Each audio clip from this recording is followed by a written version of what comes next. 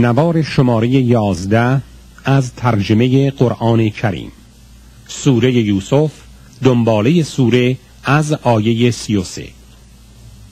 به نام خداوند بخشنده مهربان. خدا دعای او را مستجاب کرد و مکر و دسایس آن زنان را از او بگردانید و دامن اسمتش را پاک گذاشت. که خداوند دعای بندگان مخلص را میشنود و به احوال خلق آگاه است. و آنها با آنکه دلایل روشن پاک دامنی و اسمت یوسف را دیدند باز چنین صلاح دانستند که یوسف را چندی زندانی کنند و به حبس فرستادند تا این قضیه از سر زبانها بیفتد و بیش از این کار به رسوایی نکشد. و با یوسف دو جوان دیگر از ندیمان و خاصان شاه زندانی شدند. آن دو جوان چون در سیمای یوسف آثار دانش و هوش دیدند شب در زندان خوابی دیده و از او تعبیرش را خواستند. یکی از آنها گفت من در خواب دیده ام که انگور برای شراب می فشارم و دیگری گفت من در خواب دیده ام که بر بالای سر خود طبق نانی می‌برم و مرغان هوا از آن به منقار می‌خورند. ای یوسف تو تعبیر این خوابها را برای ما بگو که تو را از نیکوکاران و دانشمندان جهان می‌بینیم. یوسف در پاسخ آنها گفت من شما را از آن پیش که تعام آید و تناول کنید به تعبیر خوابتان آگاه می سازم که این علم را خدای من به من آموخته است زیرا که من آین گروهی که به خدا بی ایمان و به آخرت کافر هستند ترک گفتم از آین پدرانم ابراهیم خلیل اسحاق و یعقوب که دین توحید و خدا پرستی است پیروی کرده ام. در آین ما هرگز نباید چیزی را با خدا شریک گردانیم و احدی را در کار آفرینش مؤثر بدانیم این توحید و ایمان به یگانگی خدا فضل و عطای خداست بر ما و بر همه مردم لکن اکثر مردمان شکر این عطا را به جا نمی آورند ای رفقای زندانی من از شما می‌پرسم آیا خدایان متفرق بی حقیقت بهتر و در نظام خلقت مؤثرترند یا خدای یکتای قاهر و غالب بر همه قوای عالم وجود؟ و بدانید که آنچه غیر از خدا می پرستید اسمهایی بی حقیقت و الفاظی بی معنی هستند که شما خودتان و پدرانتان ساخته اید. خدا هیچ نشانه الهیت و کمترین اثر خالقیت در آن خدایان باطل ننهاده و همه بی اثرند و تنها حکم فرمای عالم وجود خداست. و به شما بندگان امر فرموده که جز آن ذات پاک یکتا کسی را نپرستید و این آینی محکم است. لکن اکثر مردم از جهالت بر این حقیقت آگه نیستند. یوسف پس از آنکه دو رفیق زندانیش را به دین حق دعوت کرد و حقایق توحید را با ادله روشن برای آنان بیان فرمود آنگاه به تعبیر خواب آنها پرداخت و گفت ای دو رفیق زندانی من اکنون تعبیر خوابتان را بشنوید. یکی از شما ساقی شراب شاه خواهد شد و اما آن دیگری به دار آویخته شود و آنقدر بر چوبه دار بماند تا مرغان مغز سر او را بخورند. این مرد که تعبیر خواب خود را چنین دید برای رهایی از خطر خواب را به دروغ منکر شد. یوسف گفت که در قضای الهی راجب به امری که سوال کردید چنین حکم شده است. آنگاه یوسف از رفیقی که ساقی شاه و اهل نجاتش یافت درخواست کرد که مرا نزد پادشاه یاد کن باشد که چون بی تقصیرم بیند از زندانم برهاند. در آن حال شیطان یاد خدا را از نظر یوسف برده بود و او را به خلق متوسل کرد. بدین سبب در زندان چند سال دیگر محبوس بماند. در صورتی که اگر به شاه متوسل نمی‌شد بیش از چند روزی زندانی نمی بود و پادشاه مصر با ملازمان و دانشمندان دربار خود گفت من خوابی دیدم که هفت گاو فربه را هفت گاو لاغر خورده اند و هفت خوشه سبز را هفت خوشه خشک نابود کرده است. ای بزرگان مرا به تعبیر آن اگر علم خواب می‌دانید آگاه گردانید. آنها در پاسخ گفتند این خواب پریشان است و ما تعبیر خواب پریشان نمی‌دانیم. در این حال آن رفیق زندانی یوسف که نجات یافته بود و اکنون مقرب سلطان شده بود بعد از چند سال به یاد یوسف افتاد و گفت من شاه را به تعبیر این خواب آگاه می سازم مرا نزد یوسف زندانی ببرید که از او باز بپرسم. که چه اتفاق افتاده است.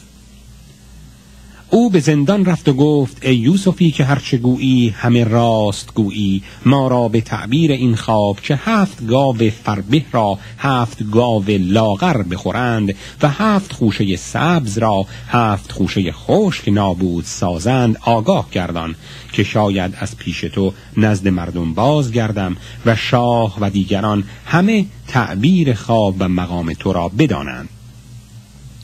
یوسف در تعبیر خواب گفت باید هفت سال متوالی زراعت کنید و خرمن را که درو کردید جز کمی که قوت خود می‌سازید همه را با خوشه در انبار ذخیره کنید که چون این هفت سال بگذرد هفت سال قحطی پیش آید که ذخیره شما به مصرف قوت مردم برسد جز اندکی که باید برای تخم کاشتن در انبار نگه دارید.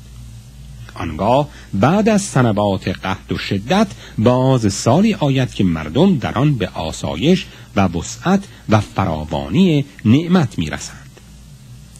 این شخص تعبیر خواب را به شاه عرضه داشت. شاه یوسف را خواست و گفت زود او را نزد من بیاورید. چون فرستاده شاه نزد یوسف آمد یوسف به او گفت بازگرد و شاه را از من بپرس چه شد؟ که زنان مصری همه دست خود بریدند. آری خدا به مکر آنان و بیگناهی من آگاه است. شاه زنان مصری را گفت حقیقت حال خود را که با یوسف مراوده داشتید بگویید. همه گفتند هاشا الله که ما از یوسف هیچ بدی ندیده ایم و جز افت نفس در او چیز دیگری مشاهده نکرده ایم. در این حال زلیخا زن عزیز مصر اظهار کرد که الان حقیقت آشکار شد و من به گناه خود اعتراف می کنم که من به خواهش نفس خود با یوسف عزم مرابطه داشتم و او که دعوی افت و بیگناهی می کند البته راستگوست. یوسف گفت من این کشف حال نه برای خود نمایی بلکه برای آن خواستم تا عزیز مصر بداند که من هرگز در نهانی به او خیانت نکردم و بداند که خدا هرگز خیانتکاران را به مکر و خدعه به مقصود نمی رساند.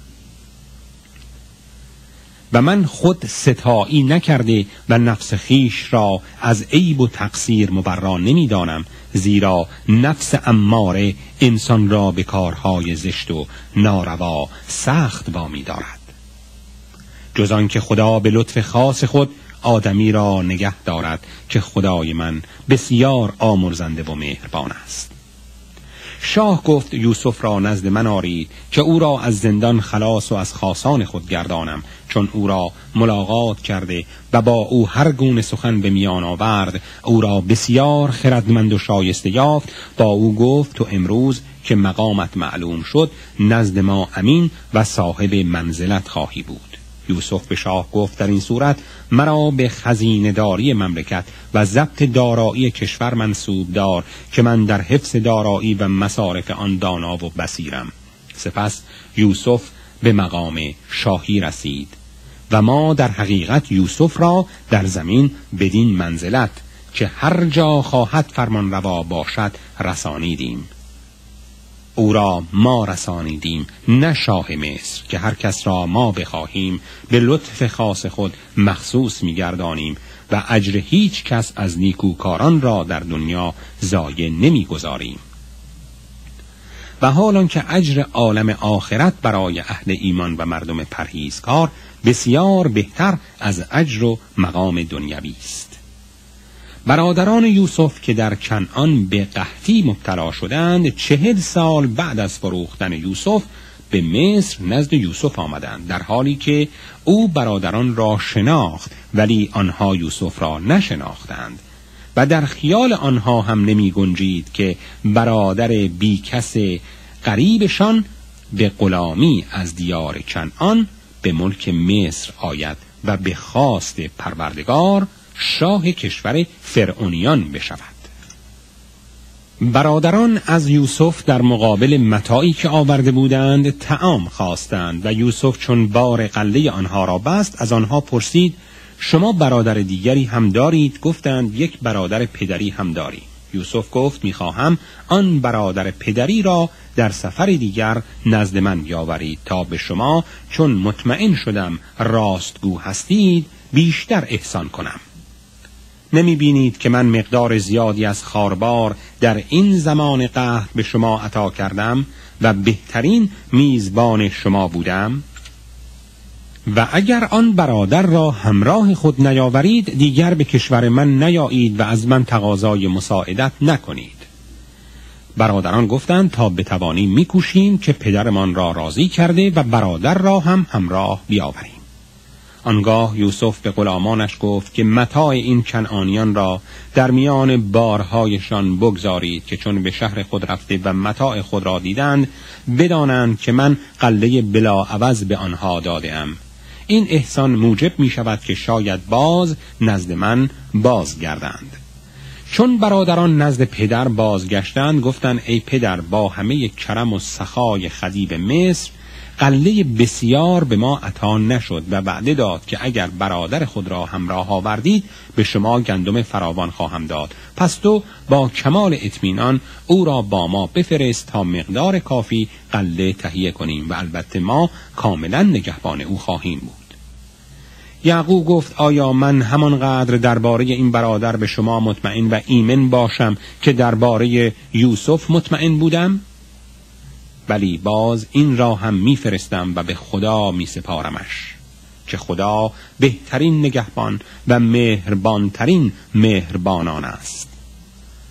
چون برادران بارها را گشوده و متاعشان را به خود دیدند دریافتند و پدر را گفتند که ما دیگر چه می خواهیم با همین مال و تجاره باز به مصر می رویم و قله برای اهل بیت خود تهیه کرده و برادر را هم در کمال مراقبت حفظ می کنیم و بار شطوری بر این قوت کم که اکنون آورده این می افسایی.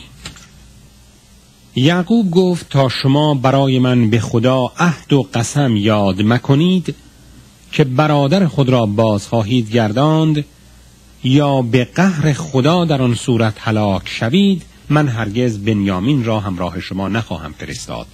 پس چون برادران عهد و قسم یاد کردند یعقوب گفت خدا بر قول ما وکیل و گواه است و او را فرستاد.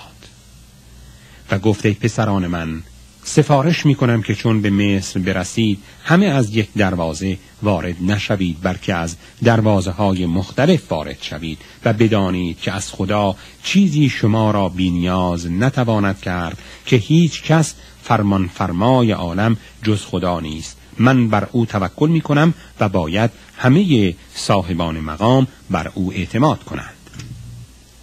در دنباله سوره یوسف آیه شست و هفت آن چنین می‌خوانیم.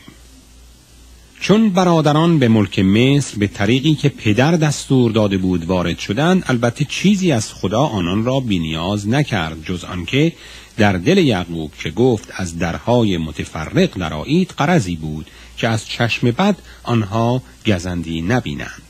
او بسیار دانشمند بود زیرا ما او را به وحی خود علم آموختیم لکن اکثر مردم نمی‌دانند. و چون برادران بر یوسف وارد شدند او برادر خود بنیامین را مشتاقانه به حضور خواند و در کنار خیش جای داد و به او اظهار داشت که همانا برادر تو یوسف که از فراغش میسوختی من همانم. اکنون شاد شو و دیگر بر آنچه برادران بر یوسف کردند محزون مباش. چون باز آن قافله را مهیا ساختند جام زرین را شاه در رحل برادر نهاد. آنگاه از غلامان منادی ندا کرد که ای اهل قافله شما بیشک دزدید. آنها رو به غلامان کرده و براشفتند که مگر چه چیز از شما مفقود شده است که نسبت سرقت به ما می دهید غلامان گفتند جام شاه ناپیداست و من که رئیس انبارم یک بار شطور تعام زمانت کنم بر آن کس که جام را پیدا کرده و بیاورد.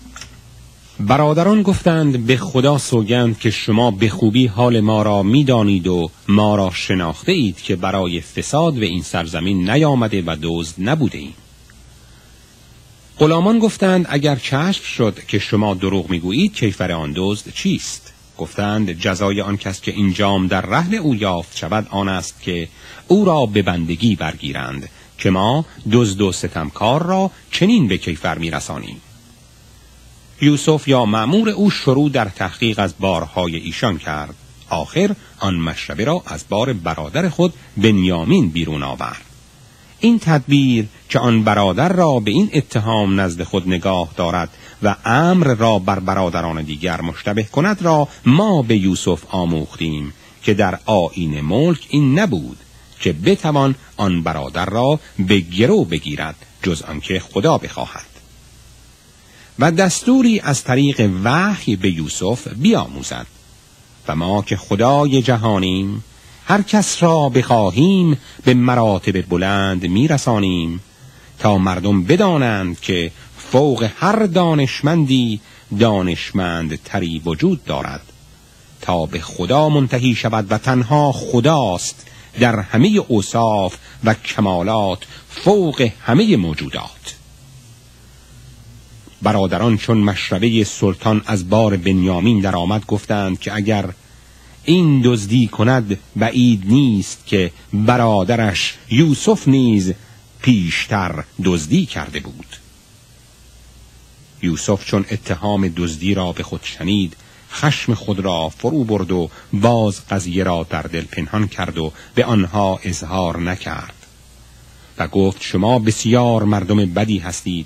که خود بد کرده و به دیگران تهمت بسته و یا غیبت می کنید و خدا بر آنچه نسبت می دهید به حقیقت آن آگاه تر است. برادران چون دیدند که اگر برادرشان به جرم دزدی به مصر بماند پدر از آنها باور نمی کند و سخت نگران می شود آنها به التماس گفتند ای عزیز مصر تو به چشم ما از نیاکان عالمی ما را پدر پیری است که به این برادر علاقه شدید دارد. لطفی کن و یکی از ما را به جای او نگاه دار. یوسف گفت معاذ الله که ما در شرع خیش جز آنکه متاع خود را نزد او یافته ایم دیگری را بگیریم. که اگر چنین کنیم بسیار مردم ستمکاری هستیم. چون برادران از پذیرفتن خواهش خود معیوس شدند با خود خلوت کرده و در سخن سر خود به میان آوردند. برادر بزرگ گفت آیا نه این است که پدر از ما عهد و سوگند به نام خدا گرفته است و از این پیش هم در باری یوسف مقصر بودیم؟ ما دیگر با چه آبرویی نزد پدرمان برویم؟ من که هرگز از این سرزمین بر نخیزم تا پدرم اجازه دهد. یا خدای عالم حکمی درباره من فرماید که او بهترین حکم فرمایان است. شما نزد پدر بروید و بگویید که فرزندت بنیامین در مصر سرقت کرده و بدین جرم گرفتار شده است و ما جز بر آنچه دانستیم گواهی ندادیم. لکن حقیقت امر چیست؟ ما حافظ اسرار غیب نیستیم. اگر پدر باور نکرد بگویید از آن شهر و آن قافله که ما در آن بودیم حقیقت را جویا شو تا صدق دعوی ما کاملا بر تو معلوم گردد. آنها نزد پدر آمده و قضیه را اظهار داشتند. یعقوب پدرشان گفت این قضیه هم مانند یوسف و گرگ حقیقت ندارد بلکه چیزی از اوهام بر شما جلوه نموده.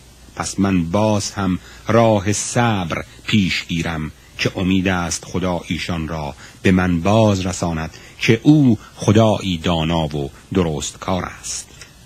آنگاه یعقوب از شدت حزن روی از آنها بگردانید و گفت وا اسفا بر فراغ یوسف عزیزم. و از گریه غم چشمانش در انتظار یوسف سفید شد و سوز هجران و داغ دل بنهفت.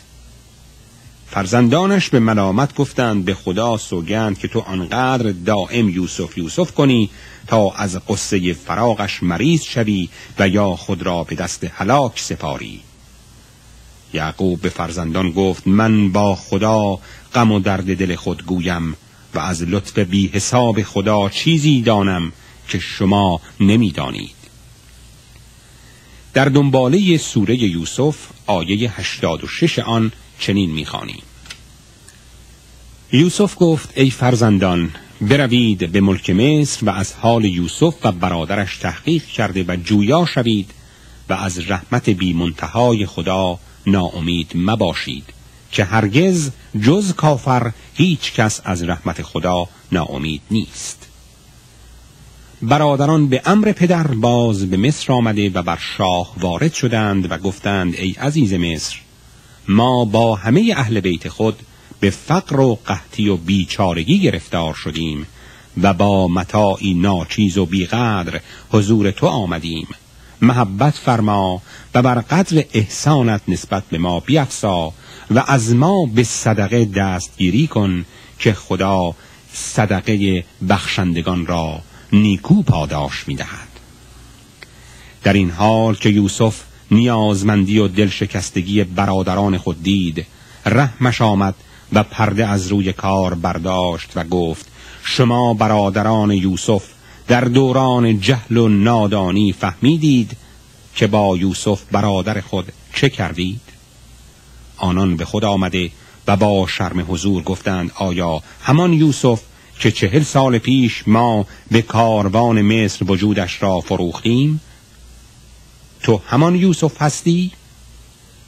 پاسخ داد که آری من همان یوسفم و این برادر من بنیامین است خدا به رحمت بی حساب خود بر ما منت نهاد و ما را به دیدار هم پس از چهل سال رسانید که البته هر کس در حوادث تقوا و صبر پیش کند چنین کسی نیکوست و خدا اجر نیکوکاران را زای نگذارد.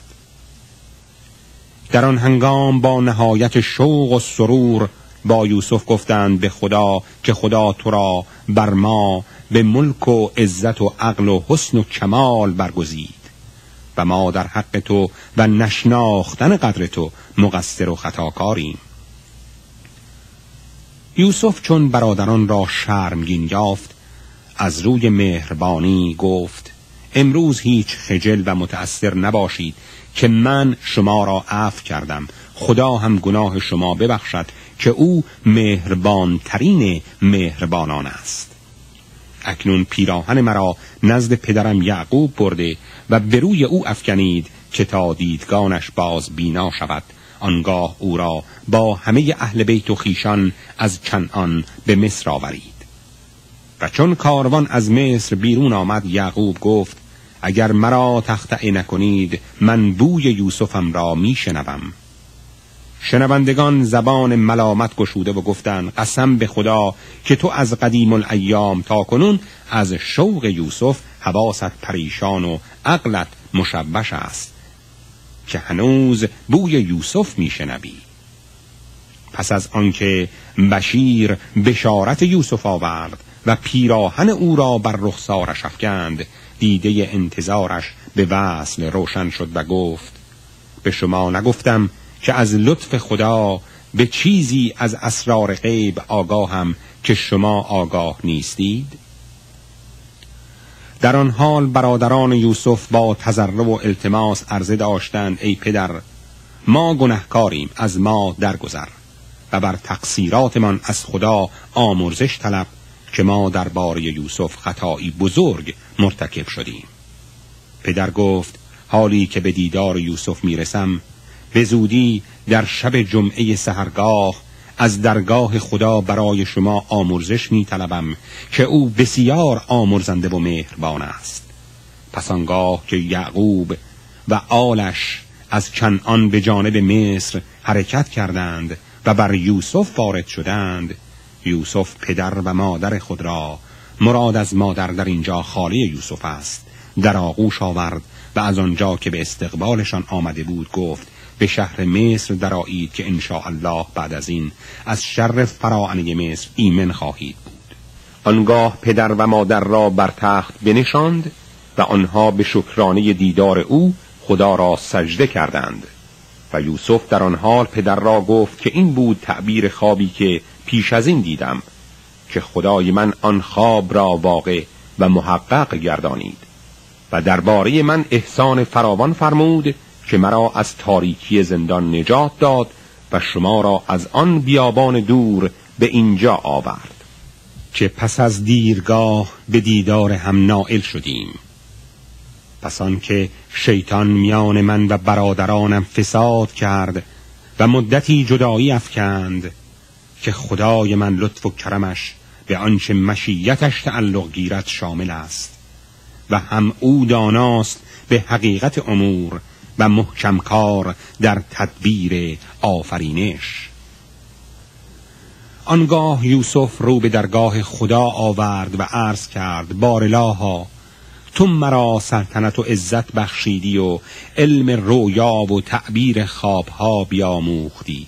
توی آفریننده زمین و آسمان توی ولی نعمت و محبوب من در دنیا و آخرت مرا به تسلیم و رضای خود بمیران و با صالحانم محشور فرما.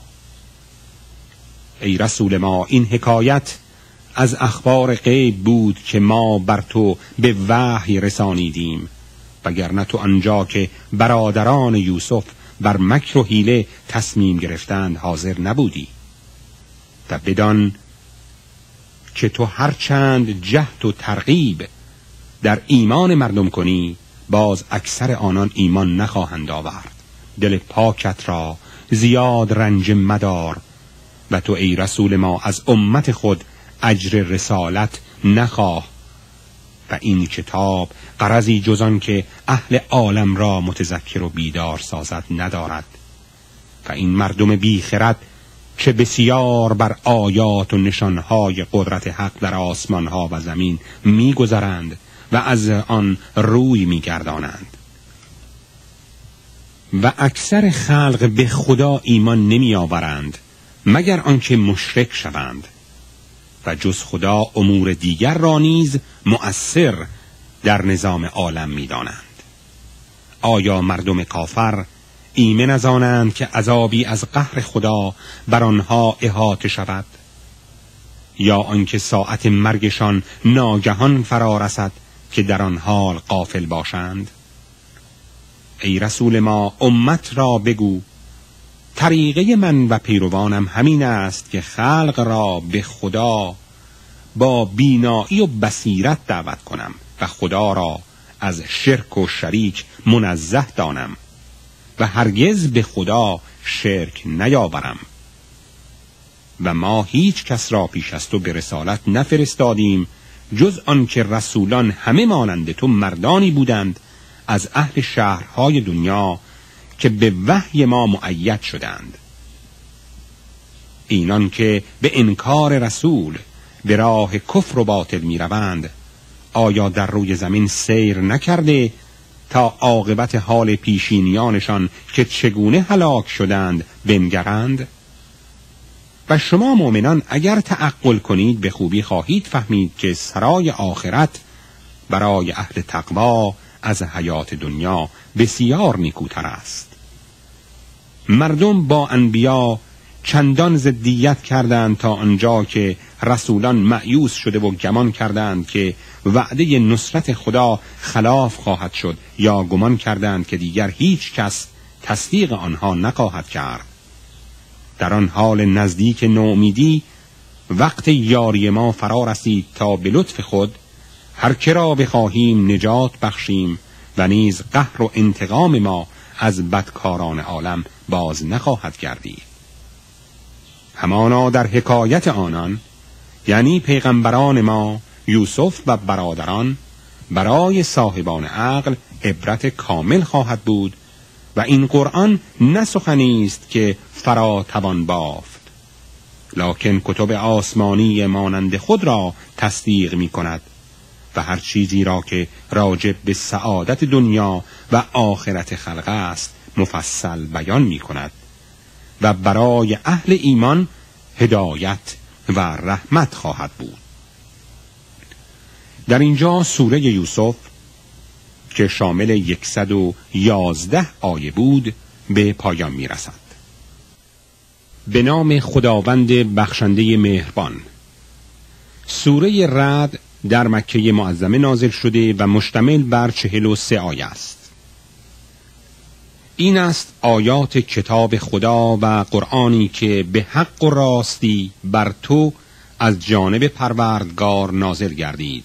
لکن اکثر مردمان به آن ایمان نمی آورند. خداست آن ذات پاکی که آسمان را چنان که می نگرید بی ستون برافراشت. آنگاه با کمال قدرت عرش را در خلقت بیاراست و خورشید و ماه را مسخر اراده خود ساخت که هر کدام در وقت خاص و مدار معین به گردش آیند. امر عالم را با نظامی محکم و آیات قدرت را با دلائلی مفصل منظم ساخت. باشد که شما بندگان به قرض اصلی خود که معرفت خدا و وصول به عالم بقاست پی ببرید. و به ملاقات پروردگار خود یقین کنید. و اوست خدایی که بساط زمین را بگسترد و در آن کوه ها برافراشت و نهرها جاری ساخت و از درختان هر گونه میوه ها پدید آورد. همه چیز را جفت بیافرید و شب تار را به روز روشن بپوشانید. همانا در این امور متفکران را دلائل روشنی بر قدرت آفریدگار است. و در زمین قطعاتی مجاور و متصل است که آثار هر قطع مباین دیگر است. یک جا معدن نفت و طلا و فیروزه و زغال و غیرست و یک جا نیست. زمینی برای تاکستان و باغ انگور قابل است. و یک جا برای زراعت قلات و زمینی برای نخلستان. آن هم نخلهای گوناگون. و با آنکه همه با یک آب مشروب می‌شوند ما بعضی را برای خوردن بر بعضی برتری دادیم و این امور اختلاف آثار قطعات زمین عاقلان را ادله واضحی به رحمت صانع است. یعنی هر کس فکر و عقل به کار بندد خواهد فهمید که این نظم و ترتیب در آسمان و زمین با این خواص مذکور به دست طبیعت نیست بلکه به امر خدا با علم و قدرت و حکمت است. و اگر تو را جای تعجب به کار منکران است عجب قول منکران معاد است که می‌گویند آیا ما چون خاک شدیم باز از نو خلق خواهیم شد. اینان هستند که به خدای خود کافر شدند و هم اینان زنجیرهای قهر و عذاب بر گردن خود نهادند و هم اینان اصحاب دوزخ و در آن همیشه معذبند. ای رسول ما کافران به جای آمرزش و احسان به تمسخر است و تقاضای تعجیل در عذاب می کنند در صورتی که چه عقوبتها بر امتان کافر گذشته رسید.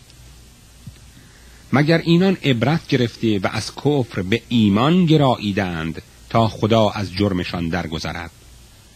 که خدا بر ظلم خلق هم بسیار صاحب عفو و مغفرت است و در این حال صاحب قهر و انتقام سخت. و باز به تعنه می‌گویند که چرا خدا بر او آیت و معجزه این نفرستاد. باید بدانند که تنها وظیفه تو اندرز و ترسانیدن خلق از نافرمانی خداست و هر قومی را از طرف خدا رهنمایی است.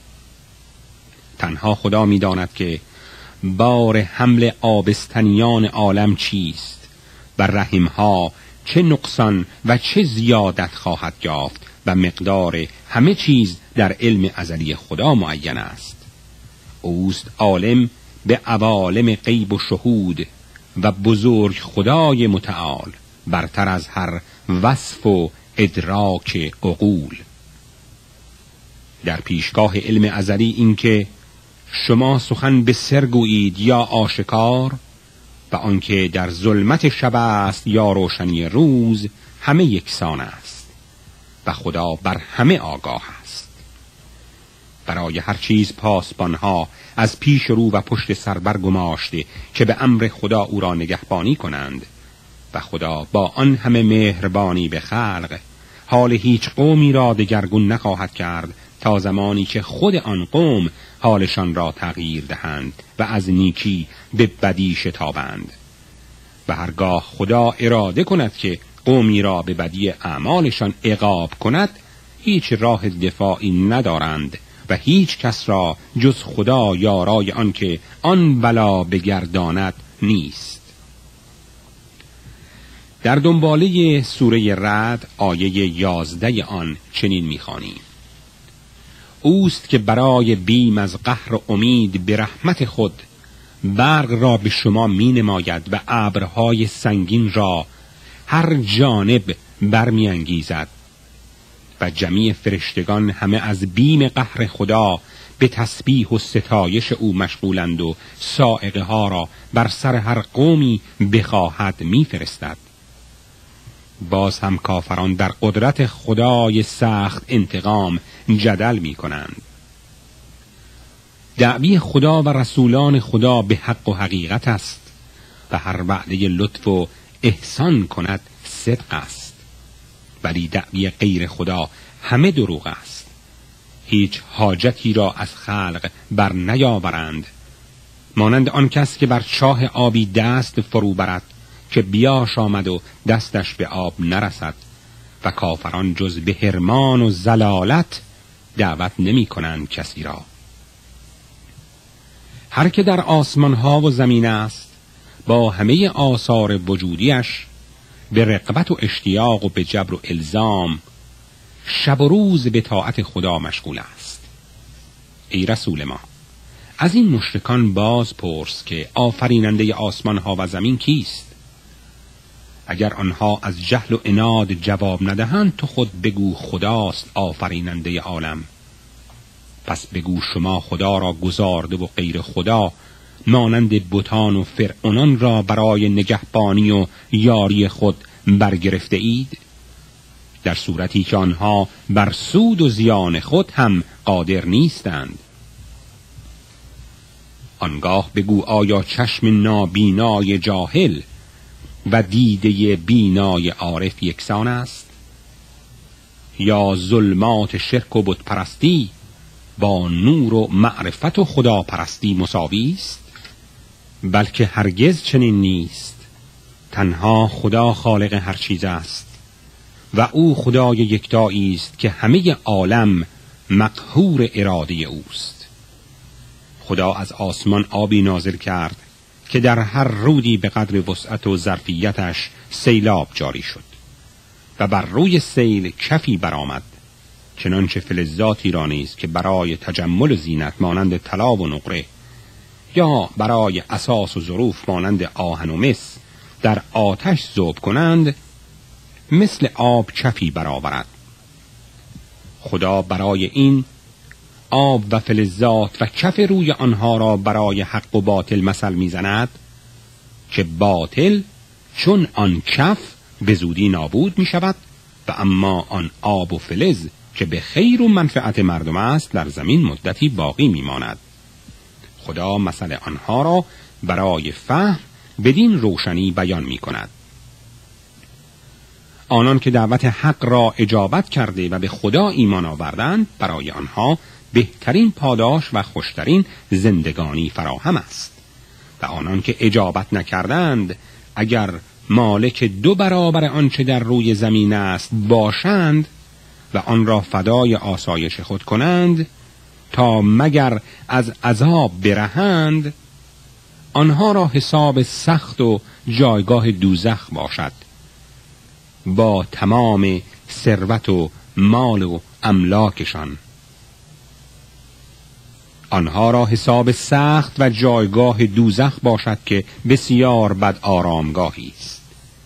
آیا مسلمانانی که به یقین می‌دانند که این قرآن به حق از جانب خدا بر آنها نازل شده است و از آن کسب علم و حکمت و سعادت می کنند مقامشان نزد حق با کافر نابینای جاهل یکسان است. هرگز یکسان نیست و تنها عاقلان متذکر این حقیقتند. تنها عاقلانند که هم به عهد خدا وفا می کنند و هم پیمان حق را نمی شکنند و هم آنچه را خدا امر به پیوند آن کرده مانند سله رحم و دوستی پدر و مادر و محبت اهل ایمان و علم و حفظ عهد و پیمان با خدا و خلق اطاعت می کنند و از خدا می ترسند و از سختی هنگام حساب می اندیشند. آنها در طلب رضای خدا راه صبر پیش می‌گیرند نماز به پا میدارند و از آنچه نصیبشان کرده ایم به فقرا به طور پنهان و آشکار انفاق می کنند و در عوض بدیهای مردم نیکی می کنند اینان هستند که عاقبت منزلگاه نیکو پیدا می کنند که آن منزل بهشت های عدن است که در آن بهشت خود و همه پدران و زنان و فرزندان شایسته خیش داخل می شوند در حالی که فرشتگان بر تهنیت آنها از هر در وارد می گردند و می گویند سلام و تهیت بر شما باد که در طاعت و عبادت خدا صبر پیشه کردید. تا عاقبت نیکو منزلگاهی یافتید. آنان که پس از پیمان بستن با خدا و رسول عهد خدا شکستند و هم آنچه خدا امر به پیوند آن کرده گسستند و در روی زمین فساد و فتنه برانگیختند اینان را لعن خدا و منزلگاه عذاب دوزخ نصیب است. خدا هر را خواهد فراخ روزی و هر را خواهد تنگ روزی میگرداند. و این مردم کافر به زندگانی و متاع دنیا دل شادند در صورتی که دنیا در قبال آخرت متاع ناقابلی بیش نیست. کافران مکه می‌گویند چرا آیت و حجت قاطعی از خدا برای اثبات نبوت او نازل نشد؟ ای رسول ما تو به آنها بگو که حجت قاطعی مانند قرآن و معجزات دیگر آمد. اکنون خدا هر را خواهد گمراه و هر را به درگاه او تضرع و انابه کند هدایت می کند چه اشخاصی به درگاه خدا انابه و تضرع می کنند آنها که به خدا ایمان آورده و دلهاشان به یاد خدا آرام می گیرد مردم آگاه شوید که تنها یاد خدا آرام بخش دل هاست آنان که به خدا ایمان آورده و به کار نیکو پرداختند خوشا بر احوال آنها و مقام نیکوی آنها. ای محمد صلی الله علیه و آله و سلم ما تو را میان خلقی به رسالت فرستادیم که پیش از این هم پیغمبران و امتهای دیگر به جایشان بوده و درگذشتند. امر تازه ای نیست که ما تو را به رسالت فرستادیم. تا بر امت آنچه از معارف الهی از ما به وحی بر تو رسد تلاوت کنی. و مردمی را که به خدای مهربان کافر می‌شوند بگو او خدای من است و جز آن خدایی نیست و من بر او توکل کرده ام و روی امیدم همه به سوی اوست. و اگر کتابی با اجاز بیان کوه ها را به رفتار و مردگان را به گفتار آورد و زمین را از هم بشکافت همین قرآن با عظمت است که با وجود آن باز ایمان نمی آورند آری فرمان در همه عالم با خداست هر چه خواهد به مشیت ازلی می کند آیا مؤمنان هنوز ندانسته که خدا اگر بخواهد همه مردم را به الزام و جبر هدایت می کند ولی این مسلحت نیست. زیرا کافران باید پیوسته از کردار زشتشان به کیفر سرکوبی رسند یا مصیبتی بر دیار آنها فرود آید تا آنگاه که در محشر هم وعده خدا بر هلاک آنها فرا رسد که خدا خلاف وعده نخواهد کرد. ای رسول ما تو از آزار و تکذیب امت غمین مباش که مردم به رسولان پیش از تو هم استهزاء بسیار کردند. ما هم به آنها فرصت دادیم تا آنگاه که ایشان را به عقوبت گرفته و با چه عقاب سختی به کیفر رسانیدیم. در دنباله سوره رد چنین می‌خوانیم. آیا خدایی را که نگهبان همه نفوس عالم با آثارشان است فراموش کردند؟ و برای خدا شریکانی از پیش خود جعل کردند؟ ای رسول به آنها بگو که نام خدایان خود را بگویید که اینها کیستند و اثر اینها چیست و از چه رو مستحق پرستش شده اند. یا اینکه شما می‌خواهید خدا را به چیزی که در زمین از آن آگاه نیست آگه سازید یا آنکه بظاهر سخنی که خود هم حقیقتی بر آن قائل نیستید می‌گویید. بلکه کافران را مکر و فسون بتراشان در نظر زیبا آمده و از راه خدا باز مانده اند و هر کس را خدا گمراه کند یعنی پس از اتمام حجت به گمراهی واگذارد دیگر هیچ کس وی را هدایت نتواند کرد و چنین گمراهان هم در زندگانی دنیا به انواع بلا معذبند. و هم در عالم آخرت به سخت در این عذاب گرفتار و از عقاب قهر خدا ابدا آسایش و نگهداری ندارند. بهشتی که متقیان را وعده دادید چنان است که نهرها بر زیر درختارش جاری است و معکولاتش همیشگی و سایه آن برقرار است. این بهشت سرانجام اهل تقوا و آتش دوزخ سرانجام کافران است.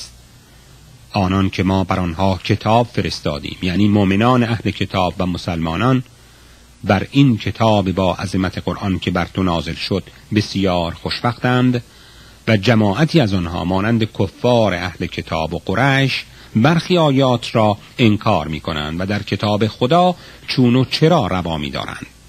آنها را بگو من مأمورم که خدای یکتا را پرستم و هرگز با او شرک نیاورم خلق را به سوی او دعوت کنم و بگویم که بازگشت ما به سوی اوست. و همچنین ما قرآن را کتابی با حکمت و فساحت عربی فرستادیم و اگر با این کتاب بزرگ علم و دانش که بر تو از جانب خدا آمد باز تو پیرو میل جاهلانه آنها شدی بدان که دیگر مدد و نگهبانی از خدا نخواهی داشت. و ما رسولانی پیش از تو به خلق فرستادیم و بر همه مانند تو زنان و فرزندان مقرر نمودیم. یعنی همه رسول بشر بودند. یکی فرشته نبود که از لوازم بشری بی نیاز باشد و هیچ پیغمبری نبوده که بی اذن خدا آیت و معجزی آورد که هر امری را وقتی معین در کتاب قضای حق مرقوم است. خدا هر چه خواهد از احکام یا حوادث عالم محو و هر چه را خواهد اثبات می کند عجل و علل و حوادث عالم را به مشیت خود تغییر می دهد و اصل کتاب آفرینش مشیت اوست. و هرگاه ما در حیات تو بر تو برخی از آن وعده عذابی که بر کافران دادیم پدیدار کنیم یا آنکه پیش از وقت تو را به دیار آخرت بریم به هر حال بر تو تبلیغ حکم خدا و بر ما حساب خلق است یعنی تعیین وقت عذاب و حساب یا عفو بندگان از وظایف نبوت نیست. آیا مردم ندیدند و بسیار در جهان مشاهده نکردند که ما به فرستادگان رسولان عزم سرزمین کافران جاهل کرده و از هر طرف میکاهیم؟ و بر بلاد و قدرت اهل ایمان از سوی دیگر می افزاییم و تنها خداست که در جهان فرمان دهد و هیچ کس بر رد حکمش قادر نیست و اوست که در یک لحظه حساب همه خلق را می کند. پیش از اینان هم بسیاری کافران مکرها کردند و عاقبت همه هلاک شدند. پس همه مکر و تدبیرها نزد خداست و او به خلق فکر و سیاست آموخته است و او می‌داند هر کس به چه کار و اندیشه است. و کافران به زودی خواهند یافت که عاقبت خوش و منزل سعادت برای کیست و کافران بر تو اعتراض کنند که تو رسول خدا نیستی. بگو تنها گواه بین من و شما خدا و عالمان حقیقی به کتاب خدا کافی خواهد بود. در اینجا سوره رد که شامل چهل و سه آیه بود به پایان می‌رسد. می‌رسیم به سوره ابراهیم که در مکه معظمه نازل شده و مشتمل بر پنجاه و دو آیه می باشد به نام خدای بخشنده مهربان. این قرآن کتابی است که ما برای تو فرستادیم تا مردم را به امر خدا از ظلمت جهل و کفر بیرون آری و با علم و ایمان به عالم نور رسانی و به راه خدای مقتدر ستوده صفات رهسپار گردانی. خدایی که هرچه در آسمان ها و زمین است همه ملک اوست. و وای بر کافران از آتش قهر و عذاب سخت خدا. کافران یعنی آنان که زندگانی دنیا را بر آخرت مقدم و محبوب تر دارند. و خلق را از راه خدا برگردانند و آن راه راست را به شک و شبهات کچ کنند. آنان در گمراهی و از سعادت و رحمت خدا بسیار دورند و ما هیچ رسولی در میان قومی نفرستادیم مگر به زبان آن قوم تا بر آنها معارف و احکام الهی را بیان کند و بر امت اتمام حجت شود. آنگاه خدا هر که را خواهد به زلالت وامی گذارد و هر که را خواهد به مقام هدایت میرساند و او خدای مقتدر داناست. و همه کارش از روی حکمت و مسلحت است. و ما موسای عمران را با آیات خود با تورات و معجزات بر فرعونیان فرستادیم و به او دستور دادیم که قومت را از ظلمات جهل و گمراهی بیرون آر و به عالم نور رسان و روزهای خدا را به یاد آنها آورد که این یادآوری بر هر شخصی که در بلا و نعمت صبور و شکر گذار است دلایل روشنی خواهد بود. ای رسول ما یاد کن وقتی را که موسی به قوم خود گفت به خاطر آورید این نعمت بزرگ خدا را که شما را از بیداد فرعونیان نجات داد که آنها شما را به ظلم و شکنجه سخت میافکندند. پسرانتان را کشته دخترانتان را به ذلت و بیچارگی ابقا می کردند و این ابتلا و امتحان بزرگی از جانب خدا بر شما بود. و باز به خاطر آرید وقتی که خدا اعلام فرمود که شما بندگان اگر شکر نعمت به جای آرید بر نعمت شما می افسایم و اگر کفران کنید به عذاب شدید گرفتار می کنم باز موسی برای اتمام حجت به قوم خود گفت اگر شما و همه اهل زمین یک مرتبه کافر شوید خدا از همه بینیاز است. او محتاج عبادت و شکر خلق نیست بلکه بندگان به طاعت و شکر خدا محتاجند. تا بدین وسیله به کمال سعادت و نعمت برسند. آیا اخبار پیشینیان شما مانند قوم عاد و سمود و قوم بعد از اینها که همه در گذشتند و جز خدا کسی بر احوالشان آگه نیست به شما نرسیده که پیغمبرانشان آیات و معجزات روشن بر آنها آوردند و آنها از تعجب خشم دست به دهان فرو برده و می‌گفتند که ما به هرچه شما پیغمبران مأمور آن هستید کافریم و هم به آنچه شما دعوت می کنید در همه آنها ما شک و تردید داریم. رسولان در جواب آنها گفتند آیا در هر که شک کنید در خدا هم که آفریننده آسمان ها و زمین است شک می توانید کنید؟ ای بیچارگان گمراه خدا به واسطه رسولانش شما را به مغفرت و آمرزش از گناهانتان می‌خواند و می‌خواهد از تعجیل به عقوبت اسیان برهاند و لایق لطف و رحمت خود کند. و به عجل معین و عمر طبیعی برساند. باز کافران گفتند ما شما پیغمبران را مثل خود بشری بیشتر نمی‌دانیم که به دعوی نبوت می‌خواهید ما را از آنچه پدران ما میپرستیدند من کنید. و اگر به راستی پیغمبر هستید برای ما حجت و معجزی که ما را مجبور به ایمان کند بیاورید. رسولان باز به کافران پاسخ دادند که آری ما هم مانند شما بشری بیش نیستیم. لکن خدا هر کس از بندگان را بخواهد به نعمت نبوت منت می‌گذارد و به وحی خود بر میگزیند و ما را نرسد که آیت و موجزی الا به اذن و دستور خدا بیاوریم. مؤمنان باید به خدا در هر حال توکل کنند و چرا ما بر خدا توکل نکنیم؟ در صورتی که خدا ما را به راه راست هدایت فرموده و البته در راه اطاعت و رضای خدا به آزار و ستمهای شما صبر خواهیم کرد که ارباب توکل باید همیشه در همه حال بر خدا توکل کند. باز کافران به رسولان پاسخ دادند که دست از این دعوی ها بردارید و به آین ما برگردید و ما البته شما را از شهر و دیار خود بیرون می کنیم. در این حال که رسولان معیوس از ایمان کافران شدند خدا به آنها وحی فرمود که غم مخورید البته ما ستمکاران را هلاک خواهیم کرد محققا ما شما رسولان و پیروانتان را در سرزمین کافران پس از هلاک آنها با آسایش و ایمنی ساکن میگردانیم و این آسایش نصیب کسی است که خوف خدا در دل اوست و از وعده قهر و عقاب خدا میترسد. و البته فتح و فیروزی بر حسب وعده ما نصیب رسولان الهی است و نصیب هر ستمگر جبار هلاکت و هرمان است. از پی هر گردنکش آتش دوزخ خواهد بود و آبی که می آشامد در دوزخ آب پلید چرکین است که آن آب پلید را پیوسته می آشامد و هیچ گوارای او نشود و از هر جانب مرگ به وی رویاور شود.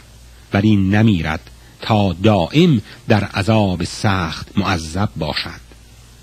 مسئله اعمال کسانی که به خدا کافر شدند به خاکستری میماند که در روز تند باد شدید همه به باد فنا رود و از همه کوشش خود هیچ نتیجه این نبرند.